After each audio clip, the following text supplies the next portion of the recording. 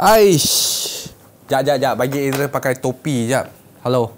Hello, testing mic. Ah, mic okay, okay. So, ah, kalau kurang seorang ah, followers Adrian, korang pun dah tahu Adrian ni pakai topi agak bodoh lah. Muka Adrian jadi bodoh.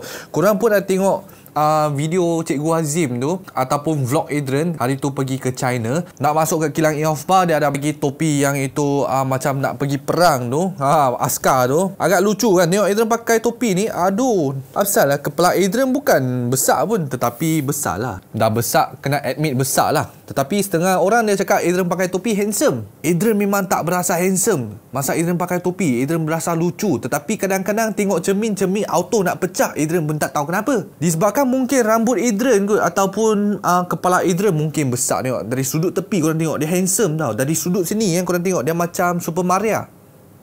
Super Mario, Super Mario, Super Mario kepala bapak dia. Tengok kalau rambut macam ni ada nampak boleh lah, boleh lah. Okay, boleh accept lah. So, macam mana pun hari ni Adrian bukan nak yang nak buat review yang panjang-panjang bagi korang.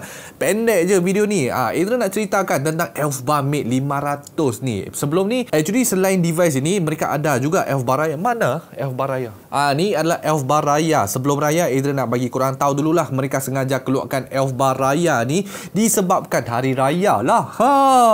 Elfbar Raya bermaksudnya untuk Malaysia version lah. Dia keluarkan Raya D1. Dia punya nama sangat-sangat special. So ini adalah disposable. Flavornya sangat-sangat sesuai untuk Malaysia punya orang. Okay, Malaysia version lah. Especially anak-anak Malaysia lah. Ha. Budak Melayu, budak Cina, budak India semua boleh layan. Tetapi macam mana pun dia special. Dia keluarkan namanya Raya lah. Okay. So yang ini pula actually Idra nak ceritakan tentang Elfbar Mate 500 ini. Mate 500 ini banyak orang dia tak faham. So Idra nak explain sekali lagi.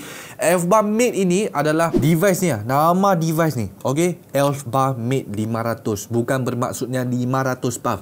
Bermaksud maksudnya 500 mAh bateri untuk device-nya sangat-sangat kecil comparison dengan device uh, stick port yang lain ini agak kecil agak cantik so dia ini dia punya cartridge ni bernamanya uh, Elfbar P1 port uh, P1 port Ah ha, macam ni. Ah ha, lepas tu Elfbar Mate 500. Dia adalah compatible lah. Dia satu set lah macam ni. Pop macam ini. So untuk dia punya cartridge actually adalah 2 ml lah untuk dia punya cartridge. So selain itu dia puff uh, approximately dalam 600 puff lah. So, mengapa Adrian tiap-tiap kali cakap tentang device ini? Disebabkan Adrian nak korang try dia punya device ini, dia punya flavor first thing. Dia tak sama dengan disposable. Nak cakap sama dengan disposable, korang tengok.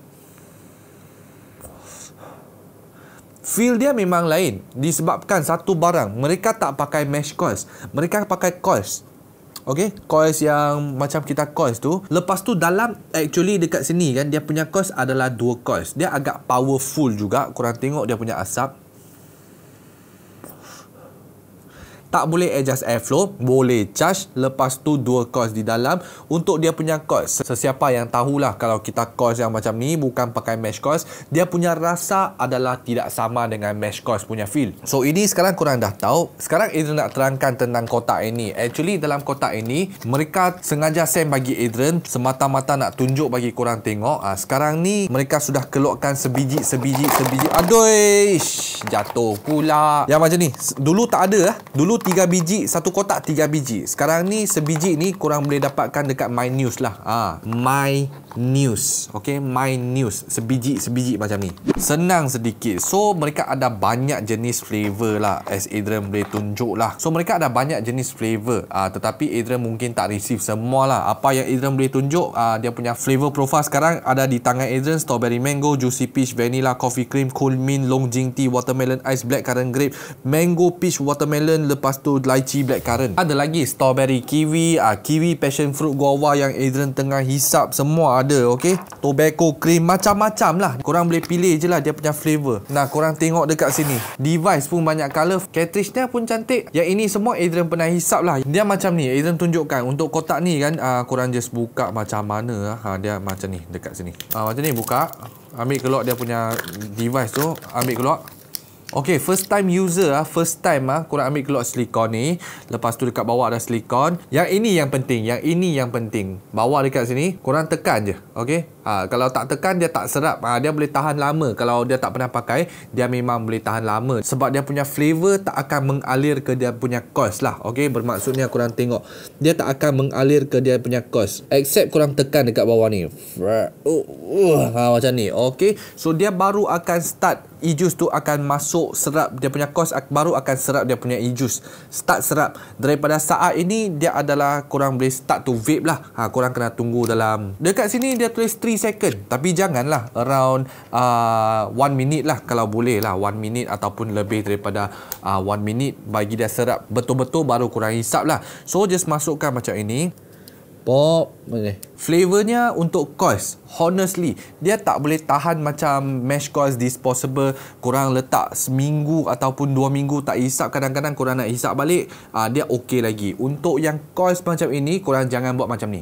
Okay? Uh, Once korang dah push in dia punya uh, itu base tu uh, dia punya cotton dah start serap tu kalau boleh kita hisap kerap kerap hisap. Ha dia punya flavor akan jadi lagi syok lah. Korang jangan biar 4 5 hari tak hisap lepas tu ambil keluar mungkin dia punya kapas tu dia akan macam macam ni tak syok okey so ini adalah cara layanan untuk coils lah bukan mesh coils lah yang coils yang macam ni ini lagi-lagi dia dua coils so korang tengok ah Adrian hisap ni uh, strawberry mango okey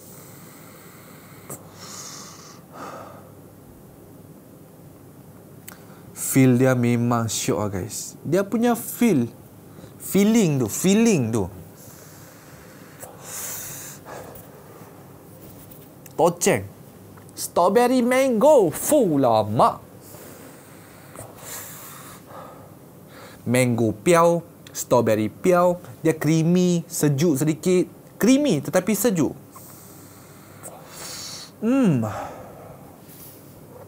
Throat heat pun syok. Okay, dia tak terlalu throat hit kalau nak compare dengan switch port ataupun device yang lain yang throat hit throat hit tak ada. Uh, dia actually throat hit tetapi smooth. Ah, uh. yang Adrian tengah hisap yang previous ni Honeydew Yakult pun syok. Honeydew Yakult.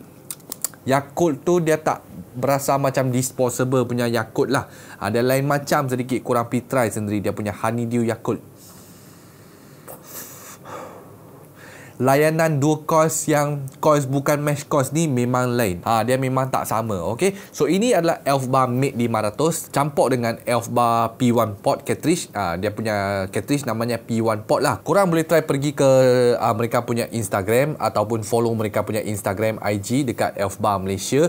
Apa-apa pun mereka akan update dia punya flavor. Satu lagi ada banyak lucky draw lah. Mungkin coming soon lah. Apa-apa pun jangan lupa pula. Ha, yang ini Elf Bar Mate 500. Yang ini yang terbaru baru sekali adalah dia punya Elf Bar Raya D1. Ha. So sebelum korang start puasa, Adrian juga nak mengucapkan selamat berpuasa bagi korang juga. Selamat berhappy-happy dekat pasar Ramadan. Ha. Adrian pun nak pergi pasar Ramadan nak beli banyak makanan. So sampai sini saja kita jumpa di next video. Nama saya Adrian Lo. Arigatok. Kamsahamnida.